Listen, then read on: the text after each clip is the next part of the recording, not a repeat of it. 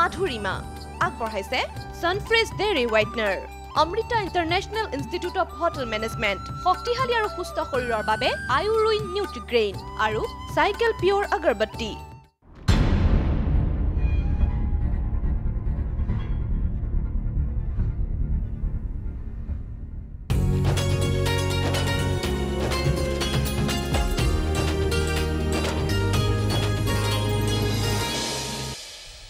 নমস্কাৰ মাধুৰিমা অনুষ্ঠানটিলৈ মই ৰেখাই আপোনালোক সকলোকে স্বাগতম জনাইছোঁ। প্ৰিয় দৰ্শক সদায় থকাৰ দৰে আজিও আমাৰ সৈতে আছে এগৰাকী বিশেষ অতিথি আৰু আজিৰ অতিথি হৈছে এণ্টাৰপ্ৰেনিয়ৰ দিগন্ত ৰাজ ভূঞা আৰু তেওঁৰ পৰা আপোনালোকেও তেওঁৰ জীৱনৰ নজনা কথা বা তেওঁ লৈ আহিছে সৰু সৰু মেমেণ্ট সেই মেমেণ্টৰ বিষয়ে যদি জানিবলৈ বিচাৰিছে তেনেহ'লে দেৰি নকৰিব। সোনকালে আমালৈ ডাইল কৰক। আমাৰ নম্বৰকেইটা আপোনাৰ টিভি স্ক্ৰীণত ফ্লেছ হৈ আছে। এতিয়া হওক অনুষ্ঠানটিত আজিৰ অতিথিক স্বাগতম জনাওঁ। দিগন্ত আপোনাক অনুষ্ঠানটিলৈ স্বাগতম জনাইছোঁ। ধন্যবাদ। হয় আৰু মেমেণ্ট আছে আমাৰ সন্মুখত। লগতে আপুনি যুৱ উদ্যোগী বঁটাও লাভ কৰিছে আৰু বহুতো পৰিচয় তেনেকুৱা আপোনাৰ সৈতে জড়িত হৈ আছে সেই সকলোবোৰৰ বিষয়ে জানিম। কিন্তু আৰম্ভণি আমি কৰিবলৈ বিচাৰিছোঁ সংলাপেৰে আজিৰ অনুষ্ঠানটি আজিৰ অনুষ্ঠানটি কাৰেঙৰ লিগিৰি জ্যোতিপ্ৰসাদ আগৰৱালাৰ শ্ৰেষ্ঠ নাট্য সাহিত্য।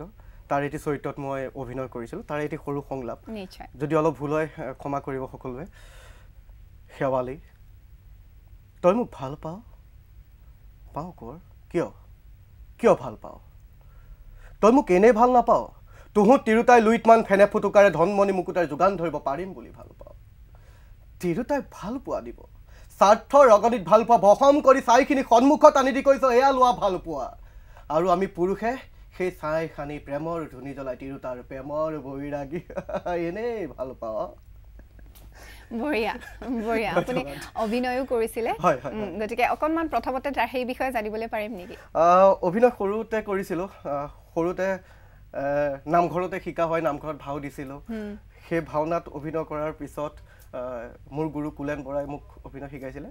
তাৰপিছত মোৰ বন্ধু দিগন্ত মাধৱ গোস্বামী লগত মই একেলগে আপোনালোকৰ ৰামধেনু চেনেলতো এটা অনুষ্ঠানত মই কাম কৰিছিলোঁ। গতিকে সেই অভিজ্ঞতা কেনেকুৱা আছিলে? খুব অভিনয়ৰ অভিজ্ঞতা। অভিনয়ৰ অভিজ্ঞতাটো মানে ইমানে সুন্দৰ। সেই যেতিয়া অভিনয় সময়কণত থাকোঁ পৃথিৱী যেন চব পাহৰি যাওঁ তেনেকুৱা লাগে। সঁচাকৈ। আমি জানিম এই বিষয়ে আৰু কথা জানিম। কিন্তু প্ৰথমতে আপোনাৰ যিটো আপুনি বিষয়টো লৈ পেলাই আমাৰ কাষত আজি আছে উপস্থিত আছে সেই বিষয়টোলৈ আহিছোঁ। অংকনা নামৰ সৰু প্ৰতিষ্ঠান এটি আপোনাৰ মাতৃয়ে আৰম্ভ কৰিছিলে। গতিকে সেই অংকনাৰ পৰা আহি আপুনি এই পৰ্যায় পাইছে যুৱ উদ্যোগী বঁটা পাইছে আৰু তাৰ লগতে বহুতো কিবা কিবি আপুনি পাইছে। গতিকে সেইখিনি আমি জানিবলৈ বিচাৰিম। একেবাৰে আৰম্ভণি কৰিছোঁ অংকনাৰ পৰা। কিদৰে পূৰ্ণ শিল্পমৰ আৰম্ভণি হ'ল অংকনা কিদৰে আহিলে? অংকনা হ'ল মোৰ মাৰ নাম। মায়ে সৰুতে ঘৰতে এখন তাঁতৰ শাল লৈ কাপোৰ কানিৰ গামোচা বৈছিলে সেই গামোচাসমূহ বিক্ৰী কৰিছিলে। সৰুৰ পৰাই অৰ্থভাৱে আৰ্থিকভাৱে আমি ইমান টনকিয়াল নাছিলোঁ। দেউতা সৰু এটা চাকৰিয়ে কৰিছিল। কিন্তু মাৰ মনটো তাৰমানে অলপ ব্যৱসায় কৰাৰ এনেকুৱা এটা মানসিকতা মাৰ আছিলে। তাৰপিছত মায়ে সেই তাঁতৰ শাল কৰিলে তাৰ পাছত বহুত ক'ৰবাৰ ক'ৰবাৰ শিপিনী আনি ঘৰতে তাঁতৰ শাল কৰি তেওঁ এটা মানে কাপোৰৰ তেতিয়াৰ দিনতে আপোনাৰ বিয়াশী চনতে মায়ে কাপোৰৰ সৰুকৈ এটা ফেক্টৰী নিচিনাই কাম কৰিছিলে তাঁতৰ শালৰ। তাৰপিছতে আমাৰ জন্ম হ'ল আমিও ডাঙৰ দীঘল হ'লোঁ। লাহে লাহে মাৰ দায়িত্ব বাঢ়ি আহিল কামবোৰ কমি আহিলে। তথাপিতো মাৰ মনটো মানে পৰি যোৱা নাছিলে। তাৰপিছত এদিন এটা সৰু এক্সিবিশ্যন আছিলে প্ৰদৰ্শনী আছিলে তালৈ মানে মায়ে যাবলৈ খুব হেঁপাহ কৰিলে। তাৰপিছত মায়ে ক'লে মই তালৈ যাওঁ বহুত দিন এই এই কামৰ পৰা বিৰতি আছোঁ গতিকে মই যাওঁ তহঁতো ডাঙৰ হৈছ। মই তেতিয়া পঢ়ি আছোঁ বা বেলেগ ধৰণৰ অভিনয় এনেকুৱা ধৰণৰ কাম কৰি আছোঁ। তাৰপিছত মা যেতিয়া গ'ল মাৰ মুখত তাৰমানে মই এটা পোহৰ দেখিছিলোঁ। সেই মানে সেই প্ৰদৰ্শনীখন যাবৰ কাৰণে ইমান ফূৰ্তি ইমান আনন্দ সেই মানে সেই কথাষাৰ এতিয়া মই আৱেগিক হৈ গৈছোঁ যে মাৰ মুখৰ সেই পোহৰটোৰ। তাৰপিছত মই ভাবিলোঁ যে মায়েতো ইমান দিন সঁচা কথা ক'বলৈ গ'লে ছেক্ৰিফাইজে কৰিছে আমাৰ কাৰণে কাৰণ আমি আমাক ডাঙৰ দীঘল বা সেইকাৰণে মাৰ যোনটো আচল প্ৰতিভা সেই প্ৰতিভাটো লুকাই আছিলে। লুকাই আছিলে। তাৰপিছতে মই মাক ক'লোঁ ঠিক আছে কৰা। কিন্তু এটা কাম কৰোঁ এতিয়া সময় সলনি হৈছে। অলপ নতুন চিন্তাধাৰাৰে কৰোঁ। অলপ নতুন চিন্তাধাৰা। ঠিক আছে কেনেকৈ কৰিম? তাৰপিছত মায়ে ক'লে নতুন চিন্তাধাৰা হ'বলৈ হ'লে প্ৰথমতে আমাৰ অসমীয়া মানুহে কি বিচাৰে সেইটোৰ ওপৰত চিন্তা কৰ। আৰু সৰু সৰু কিছুমান এনেকুৱা বস্তু বনা যিবোৰ মানুহে যিটো বস্তু বা যিটো সামগ্ৰী দেখাৰ লগে লগে বেলেগ কিবা হওক নক অসম বুলি জানিব লাগিব তাৰমানে। গতিকে ব্যৱসায়ে কৰ বা তই নতুনত্ব কৰ কিন্তু নতুনত্বত সেইটো হ'ব নালাগিব। যে বাহিৰৰ কিবা এটা। গতিকে এতিয়া মই আপোনাক এটা বস্তু দেখুৱাওঁ আমি এইটো কাঠৰে এইটো কৰিছিলোঁ। এইটো কাম আকৌ আমাৰ দেউতাইও কৰে। দেউতাই মোক শিকাইছে। আজু ককাই কৰিছিলে ককাই কৰিছিলে গতিকে বংশগতভাৱে চলি আছে। চলি আছে। দেউতাই কৰিছে। এইটোৰ আমি নাম থৈছিলোঁ অসম গৌৰৱ। এইটো কাঠৰ হয় গড় এটা জাপি এটা পেঁপা এটা ঢোল এটা। ঢোল এটা। দে গতিকে এইটো আপোনাৰ ক'ৰবাত বিয়া এখনত গিফ্ট দিবলৈ বা ক'ৰবাত প্ৰাইজ পাইছে তাত দিবলৈ গতিকে আলহী আছে তাতো আপোনাকে দিব পাৰে। ঘৰতো সজাই থ'ব পাৰে। গতিকে এই অসম গৌৰৱটো এইটো দেখাৰ লগে লগে গম পাব লাগিব যে অসম গতিকে মাৰ মানে সেইটোৱে কথা যে যিয়ে বনোৱা দেখাৰ লগে লগে অসমৰ পৰিচয়টো অসমৰ পৰিচয়টো তাত থাকিব লাগিব। গতিকে তেনেদৰে আপোনালোকে আৰম্ভ কৰিছিলে। অংকনা আৰু তাৰপিছত পূৰ্ণ শিল্পমৰ। জন্ম হ'ল তাৰপিছতে যেতিয়া মই ব্যৱসায় লাহে লাহে কৰিব ল'লোঁ দিগন্ত মাধৱ গোস্বামী মোৰ খুব ভাল বন্ধু আমি সৰুৰ পৰা একেলগে ডাঙৰ দীঘল হোৱা বিশেষভাৱে মোৰ আকৌ সখীও। সখী তাৰপিছত তেতিয়া মই মই গোসাঁই বুলি মাতোঁ দেই গতিকে গোসাঁই বুলিয়ে কৈছোঁ। মই বোলো গোসাঁই ব্যৱসায় আৰম্ভ কৰিছোঁ। আপুনিতো বোলো অভিনয় কৰি আছোঁ গতিকে আমি এটা কাম কৰোঁ। আৰু তেওঁ এজন খুব ভাল শিল্পী। তেওঁ যিসমূহ সামগ্ৰী বনায় সেই সামগ্ৰীসমূহ বজাৰত ভালকৈ ওলাই অহা নাই বা মানুহে ৰাইজে পোৱা নাই।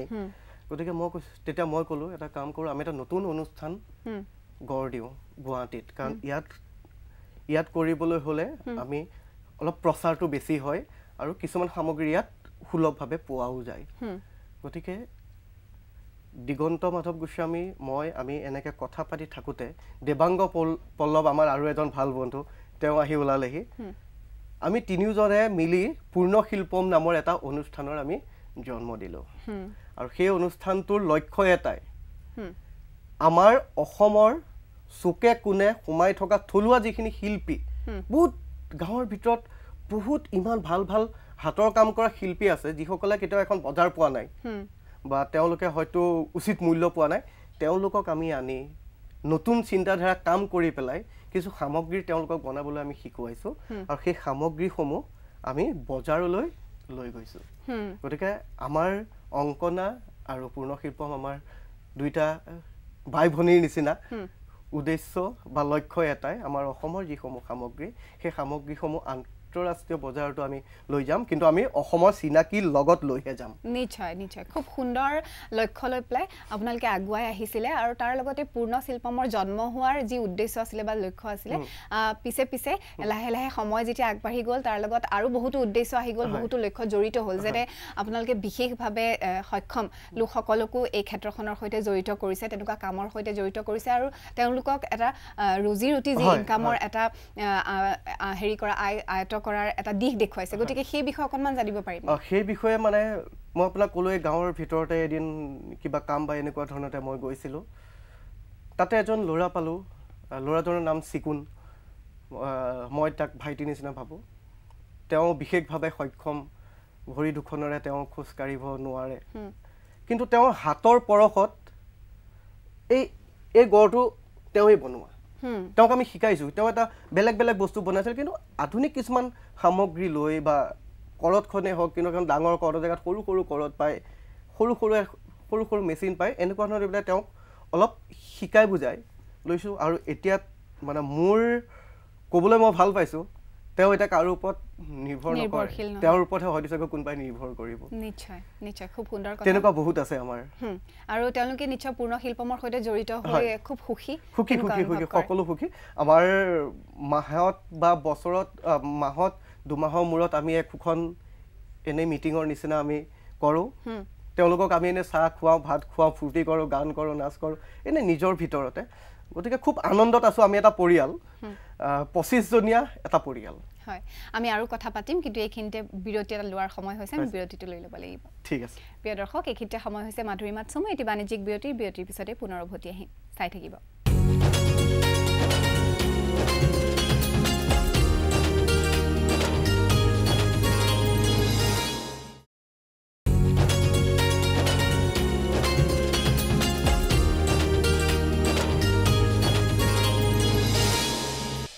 বিৰতিৰ পিছত মাধুৰীমালে পুনৰ স্বাগতম জনাইছোঁ। অনুষ্ঠানটিত আজি আমি কথা পাতি আছোঁ এণ্টাৰপ্ৰেনিয়ৰ দিগন্ত ৰাজভূঞাৰ সৈতে। আহক তেওঁৰ সৈতে আমি পুনৰ কথা পাতোঁ। হয় দিগন্ত তেজপুৰত আপুনি আপোনাৰ এই কামবিলাকক লৈ ফেক্টৰী এটা আৰম্ভণি কৰিছে। সেই ফেক্টৰীটোত কিদৰে কাম হৈ আছে সেই বিষয়ে অকণমান জানিবলৈ বিচাৰোঁ তেজপুৰ কেতেকীবাৰীত কেতেকীবাৰীতে মোৰ ঘৰ। তাতে মই এটা ফেক্টৰী আৰম্ভ কৰিছোঁ। তাতে আমি বৰ্তমান মুগা কাপোৰৰ এৰী কাপোৰৰ ওপৰত নানা ধৰণৰ সৰু সৰু বস্তু বনাইছোঁ। যেনে আমাৰ ইয়াতো আছে ইয়াতো আছে। এতিয়া মই আপোনাক এটা দেখুৱাইছোঁ। হুম, এইটো বেগ হুম। এইটো এম্ব্ৰইডাৰী কৰা হৈছে। হয়। জাকৈ মাৰি আছে জাকৈ মাৰি। আছে। দে গতিকে বেগটো মানে এই জাকৈ ইয়াৰ ছোৱালীজনী এইকাৰণে দিছোঁ যাতে আমাৰ নিজৰে চিনাকি। গতিকে সেইটো মই বাৰে বাৰে কৈ আছোঁ। গতিকে এনেকুৱা এটা বেগ যদি কোনোবাই লৈ যায় হুম। গতিকে নিশ্চয় আমাৰ আমাৰ ট্ৰেডিশ্যনটোক ৰিফ্লেক্ট কৰা হ'ব এটা। পৰিচয় হ'ব। আৰু আপোনালোকে কাপোৰবিলাকো খুব তেনেকুৱা মুগা তাৰ লগতে মই আৰু এটা কওঁ এনেকুৱা আৰু বেগ আছে। আৰু এই বেগসমূহৰ মই কিছুমান অসমীয়া নাম থৈছোঁ। যেনে এইটোৰ নাম হৈছে নাচনী মোনা। নাচনী মোনা। নাচনী এগৰাকী বিশেষ কাৰণ মানে নাচনী এগৰাকী যেতিয়া নাচিবলৈ যাব এনেকুৱা এটা যদি মোনা লৈ যায় তাৰ সৰু সৰু যিখিনি সামগ্ৰী ফুলিৰ পৰা গগনাৰ পৰা সুতুলিৰ পৰা সেই সামগ্ৰীখিনি ধুনীয়াকৈ আঁতি যাব। আঁতি যাব গতিকে নামটো থৈছোঁ নাচনী মোনা। আৰু আমাৰো অকণমান চিনাকি হ'বলৈ সুবিধা হয়। ফেক্টৰীতে এই নাচনী মোনা দহ দহটা বনাব লাগিলে। ঠিক তেনেকুৱা ধৰণৰ। হয়। এইটোৰ নাম থৈছিলোঁ আমি জোনবিৰি মোনা। জোনবিৰি। এইটো জোনবিৰি মোনা। এইটোৰ নাম থৈছিলোঁ ৰচকী খুব ষ্টাইলিছ। ৰচকী হয়। বিয়া বিয়া চিয়া বিয়া যাবলৈ। ধুনীয়া। আমি কথা পাতিম আৰু জানিম। সন্মুখত আৰু বহুতো বেগ আছে তেনেকুৱা আমি ফোন কল এটা ল'বলৈ বিচাৰিছোঁ। হেল্ল' হেল্ল' নমস্কাৰ কোনে কৈছে? হয় মই সীমান্তই কৈছিলো সীমান্ত ক'ব কি জানিবলৈ বিচাৰিছে? হয় বস্তুবিলাক চাই আছো পূৰ্ণ শিল্পকৰ ভাল লাগিছে। ধন্যবাদ। আৰু মই এনে শুনিবলৈ পাইছো যে আপোনালোকৰ এটা এটা মানে ৱৰ্কশ্বপ এটাও আছে গুৱাহাটীতে। মানে ক'ত আছে আৰু আপোনালোকক কেনেকে কণ্টেক্ট কৰিব পাৰিম? ফোন নম্বৰটো দিলে ভাল পালো হয় নাই? হয় হয়। গুৱাহাটীৰ আপোনাৰ বেলতলাত। বেলতলাত আমাৰ পূৰ্ণ শিল্পমৰ এটা সৰু আমি অনুষ্ঠান বা এটা আমি কাৰখানা এটা আমি তাত আৰম্ভ কৰিছোঁ। তাৰ সেইবাবে আপুনি বেলতলালৈ আহি লৈ পেলাই পূৰ্ণ শিল্পমৰ আহ, বিষয়ে কাৰোবাক যদি সোধে তাতে মূৰ্তিও বনোৱা হয়। তাতে গতিকে তাতে আহি পেলাই আপোনালোকে খবৰ ল'ব পাৰে যে পূৰ্ণ শিল্পমৰ কাৰখানাটো ক'ত আছে। আৰু বিশেষ সুবিধাৰ কাৰণে কিলো ফোন নাম্বাৰ আপোনালোকক দিয়া হ'ব। গতিকে তাত যদি কল কৰে তো আমি নথৈ আনো বেলেগ কিবা হওক নহওক এনেই চাবলৈ আহিলেও আমাৰ ভাল লাগিব। ফোন নাম্বাৰটো দিয়াৰ সুবিধা আছে। Phone number. কিবা আছে যদি নিশ্চয় দিব পাৰিব। হয় ফোন নাম্বাৰ বহুত আছে তাৰ মাজতে মোৰ মনত থকাটো মই দি দিছোঁ। Double nine five four six double eight five two seven. Double nine five five four four six six double double eight five two seven হয় নিশ্চয়কৈ আগ্ৰহী যিহেতু। আহিব আৰু তেওঁ যোগাযোগ কৰিব বুলি আমি আশা ৰাখিছোঁ। এতিয়া। আপুনি ক'লে যে মূৰ্তি বনোৱা কামবিলাকো আপোনালোকে কৰি আছে আৰু মহিৰু অসমৰ বিশেষ বা আমাৰ খুব শ্ৰদ্ধাৰ মহিৰুসকলক লৈ আপোনালোকে তেনেকুৱা মূৰ্তি বনোৱাৰ কামৰ সৈতে জড়িত। হৈছে সেই বিষয়ে অকণমান জানিবলৈ বিচাৰিম। সেই বিষয়ে মানে সেই বিষয়টো এটা সৰু কাহিনী আছে মই কওঁ। নিশ্চয়। বেছি দীঘলীয়াও নহয়। মোৰ সখা সেয়া দিগন্ত ভূপেন হাজৰিকাই তেখেতক এটা লিখা দিছিলে মোৰ বুকুৰ ইচ্ছা দিগন্তৰ হাতত মোৰ এটা প্ৰতিমূৰ্তি হ'ব। সি তেওঁ কাগজখন ধুনীয়াকৈ ফ্ৰেম কৰি পেলাই ঘৰত সজাই থৈছে। মই আহিলোঁ। আহি লৈ পেলাই মইতো মই জানো তেতিয়া ময়ো আছিলোঁ লিখি দিওঁতে ময়ো আছিলোঁ। ত মই ক'লোঁ এইখন যে লিখা দিছে আপুনি কিয় থৈছে? কৈছে নহয় এইখনতো এটা মানে স্মৃতি। কৈছোঁ স্মৃতি নহয় এইখন তেখেতে এইকাৰণে দিছে যাতে আমি এটা পথ দেখুৱাই থৈ গৈছে। কৈছে কেনেকুৱা পথ দেখুৱাই থৈ গ'ল? কৈছোঁ ভূপেন হাজৰিকাই কৈছিলে যে তেখেতৰ বুকুৰ ইচ্ছাৰ এটা মূৰ্তি বনাবলৈ। আপুনি এটা বনাওক। লগে লগে দুয়ো কামত লাগিলোঁ ধুনীয়াকৈ বনোৱা হ'ল। ঠিক ভূপেন হাজৰিকাৰ ঢুকুৱাৰ এশ এদিন যেতিয়া হ'ল। মই অলপ বেপাৰী চিন্তাধাৰাৰ মানুহ হয় মাৰ পৰাই আহিছে। মই ক'লোঁ এটা কাম কৰোঁ ডাঙৰকৈ বনোৱাতকৈ আমি সৰু সৰু বনাওঁ। অনুৰাগী বহুত আছে। সকলোৱে আমি তেওঁক নিবলৈও বিচাৰিব নিবলৈও বিচাৰে আমি এতিয়াও মিছ। কৰোঁ। গতিকে সৰু সৰুকৈ আমি ভূপেন হাজৰিকা ঢুকুৱাৰ এশ এদিন হওঁতে আমি কলাক্ষেত্ৰ তেওঁ সমাধি ক্ষেত্ৰত আমি এশ এটা সৰু সৰু মূৰ্তিৰ তাত উন্মোচন কৰিলোঁ। কিন্তু সেই এশ এটা উন্মোচন কৰাৰ লগে লগে আমাৰ তাৰ পৰা বিক্ৰী হৈছে। আৰু তাৰপিছত আমি এহেজাৰটা সৰু সৰু ভূপেন হাজৰিকাৰ মূৰ্তি আমি বনালোঁ আৰু আজি হয়তো চাগৈ এহেজাৰখন ঘৰত তেখেতৰ সেই মূৰ্তি আছে। নিশ্চয় নিশ্চয়। আমি আৰু বহুতো কথা পাতিম। কিন্তু এইখিনিতে পুনৰ চমু বাণিজ্যিক বিৰতি এটা লোৱাৰ সময়। হৈছে। প্ৰিয় দৰ্শক এইখিনিতে সময় হৈছে পুনৰ চমু। এটি বাণিজ্যিক বিৰতি বিৰতিৰ পিছতে উভতি আহিম। চাই থাকিব মাধুৰিমা।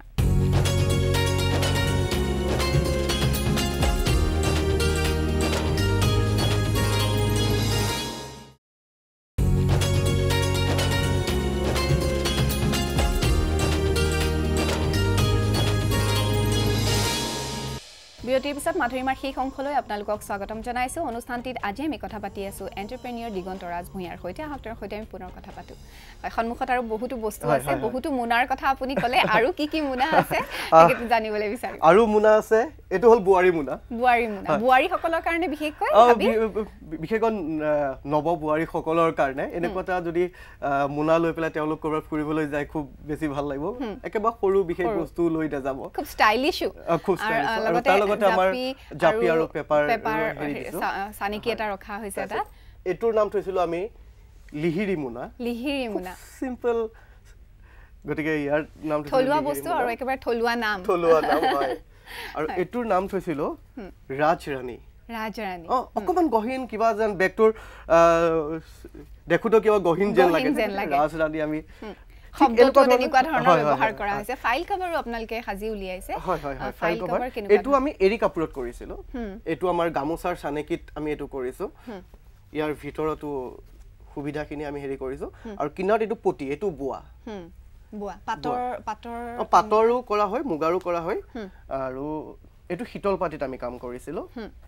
এইটো শীতল পাতিত।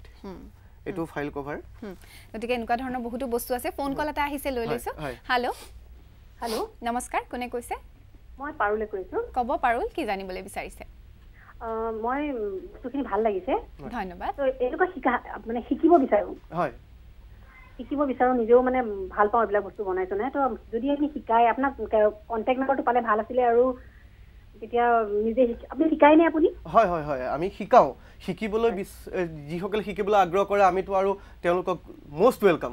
কাৰণ কিহৰ কাৰণে আমি খুব ভাল লাগিব যদি কোনোবাই আমাৰ এই বস্তুসমূহ শিকে বা কাম। কৰিবলৈ আহে।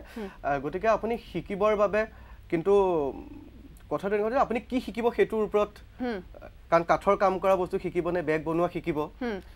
সেইখিনি আপুনি কথা বতৰা পাতি ল'ব। ফোন নাম্বাৰটো আগতে দিছোঁ আকৌ এবাৰ মই দি দিওঁ। Double nine five four six double eight five two seven. গতিকে নম্বৰত যোগাযোগ কৰিলে। নিশ্চয় শিকিব পাৰিব। আমি আপোনাৰ আমাৰ বিষয়টোলৈ আহিছোঁ। আপুনি পূৰ্ণ শিল্পমৰ যিটো ব্যৱসায়িক। দিশটো যিটো মাৰ্কেটিঙৰ ছাইডটো আপুনি চাই আছে। গতিকে এতিয়া বজাৰত বহুতো চাইনিজ সামগ্ৰীয়ে আপোনাৰ দখল কৰিছে বহুতো। গতিকে সেনে ক্ষেত্ৰত আপোনালোকে সেই ব্যৱসায়িক দিশটো কেনে- কেনেকুৱা ধৰণৰ কম্পিটিশ্যন প্ৰতিযোগিতা কেনেকুৱা পাইছে তেনে বস্তুবিলাকৰ প্ৰতিযোগিতা এতিয়া ক'বলৈ গ'লে আমি যিসমূহ সামগ্ৰী আমি বনাইছোঁ সেই সামগ্ৰীসমূহ বজাৰত আৰু দ্বিতীয়জন প্ৰতিদ্বন্দ্বী আমাৰ এতিয়ালৈকে বৰ্তমান সন্মুখত অহা নাই। কিন্তু অলপ ভাবুকি হয়। এতিয়া হেণ্ডিক্ৰাফ্টৰ হাত হেণ্ডিক্ৰাফ্টৰ বস্তু চাইনাৰ পৰা বহুতখিনি সামগ্ৰী আহে। যিখিনি বস্তু দেখাত লাগে হাতেৰে বনোৱা কিন্তু হাতেৰে নহয় সকলোবোৰ মেচিন মেডৰ। কিন্তু আপোনাৰ কাজিৰঙাত বহুতখিনি সামগ্ৰী তেনেকৈ আমাৰ যোৱা হয়। আমি খালি চিন্তা এটাই কৰিছোঁ তেওঁলোকে যিখিনি বস্তু মেচিনত যদিও বনাইছে খুব কম দামত বজাৰত দিছে। আমিও চেষ্টা কৰি আছোঁ আমি কিমান কমৰ ভিতৰত খুব কমৰ ভিতৰতো তাৰমানে অকল পাৰিশ্ৰমিকটো ৰাখিহে মানে আমাৰ মানে বজাৰখনলৈ আমাৰ সামগ্ৰীসমূহ উলিয়াই দিব। পাৰোঁ। গতিকে আমাৰ অসমৰ এতিয়া বিভিন্ন ঠাইত আমাৰ এই সামগ্ৰীসমূহ গৈ আছে। তাৰ লগতে আপোনাৰ আমি ডাঙৰ কি বুলি কয় মূৰ্তিৰ কামো আমি কৰিছোঁ। পূৰ্ণ শিল্পমৰ দ্বাৰা আমি ডাঙৰ এতিয়া আমি এটা নতুন পদক্ষেপ হাতত লৈছোঁ। আমাৰ কলাগুৰু বিষ্ণুপ্ৰসাদ ৰাভা জ্যোতিপ্ৰসাদ আগৰৱালা নটসূৰ্য ফণী শৰ্মা লক্ষীনাথ বেজবৰা অনেকৰ আমি এতিয়া আমি মূৰ্তি প্ৰতিমূৰ্তি প্ৰতিমূৰ্তি আমি বনাবলৈ আমি আৰম্ভ কৰিছোঁ। গতিকে সেইসমূহ আমি বজাৰলৈ লৈ যাম বা স্কুলতো যদি কোনোবাই কোনোবা স্কুলে বিচাৰে স্কুলতো তেওঁলোকে ৰাখিব পাৰিব। নিশ্চয় নিশ্চয়। আৰু এইবিলাক যিবিলাক নতুন নতুন পদক্ষেপ বা পৰিকল্পনা এই সকলো বি- বিলাকত আহ, নিশ্চয় আপোনালোকতো আছে। তাৰ লগতে আৰু পৰিয়ালৰ ফালৰ পৰা কেনেকুৱা সঁহাৰি আপোনালোকে লাভ কৰিছে? পৰিয়ালৰ ফালৰ পৰা বহুত বেছি। মাটোতো আছেই দেউতাও আছে দেউতাও শিকায়। সকলোতকৈ বেছি মোৰ ভণ্টি তাই আৰু নতুন চিন্তাধাৰা আৰু নতুন চিন্তাধাৰা তাই আগবাঢ়ি যাবলৈ বিচাৰে। তাইও খুব ভাল ড্ৰেছ ডিজাইনাৰ। তাইও কিন্তু যিবোৰ চাদৰ মেখেলা ডিজাইন কৰে বা বনায় তাতো কিন্তু এটা অসম অসম জিলিকি থাকে তাৰমানে। হয় সেই কথাটোৰ পৰা এটা কথা সেইখিনিতে সুধিবলৈ বিচাৰিছো। হাতত সময় একেবাৰে নাই। আপুনি কাপোৰ ডিজাইনৰ কথা ক'লে আপোনাৰ সম্পূৰ্ণ অৱয়ৱটো মানে। আপুনি পিন্ধি থকা কাপোৰযোৰ বা আপুনি লৈ অহা বেগটো বা মোনাটো মোনাটোতো আমাৰ থলুৱা যি হয়। সেই সকলোখিনি প্ৰকাশ পাইছে। গতিকে সেই আপুনি নিজেও তেনেকুৱা ধৰণৰ পিন্ধি বা হাতত লৈ খুব ভাল পায়। ভাল পাওঁ। ভাল পাওঁ ভাল পাওঁ। মই এতিয়া ধৰক পিন্ধি থকাটো মই নিজে নিজে চিলাই লৈ পেলাই নিজে তাঁতৰ শালৰ নিজে নিজৰ ফেক্টৰীত চিলোৱা এইটো ধৰক পিন্ধিছোঁ। আৰু এইখিনি মই আৰু এটা আপোনাৰ কথা কওঁ আমি যেতিয়া এই কংকনাটো আৰম্ভ কৰিছিলোঁ দুজন ল'ৰাই মোক বহুত বেছি সহায় কৰিছিলে পলাশমণি নেওগ আৰু অৰেল। গতিকে তেওঁলোক দুজন নোহোৱা হ'লে এই দিগন্ত মাধৱ গোস্বামী বা মই আমাৰ অংকনা পূৰ্ণ শিল্পম কিন্তু আগবাঢ়িব নোৱাৰিলোঁ হয়। গতিকে তেওঁলোকক মই বহুত বেছি তাৰমানে তেওঁলোকে মোক বহুত বেছি সহায় কৰিছে। নিশ্চয়। আমি আশা কৰিছোঁ আপোনালোকে আৰু আগুৱাই যায় পূৰ্ণ শিল্পমে আৰু আগুৱাই যায় আৰু। বহুতো আমাৰ উঠি অহা প্ৰজন্মক কৰ্ম সংস্থাপন দিয়ে। আমি তাৰে কামনা কৰিছোঁ। অনুষ্ঠানটিলৈ আহিলে বহুতো কথা জনালে। তাৰ কাৰণে আপোনাক ধন্যবাদ জনাইছোঁ। ধন্যবাদ। মোৰো বহুত বেছি ভাল লাগিলে ইয়ালৈ আহি। হয়। প্ৰিয় দৰ্শক এয়া আছিলে আমাৰ আজিৰ অতিথি। তেওঁক লগ পাই আপোনালোকেও ভাল পালে বুলি আশা ৰাখিছোঁ। পিছে অনুষ্ঠানটিৰ পৰা আজিলৈ বিদায় লোৱাৰ সময় হৈ গ'ল। মই ৰেখাই এইখিনিতে সামৰণি মাৰিছোঁ। ধন্যবাদ।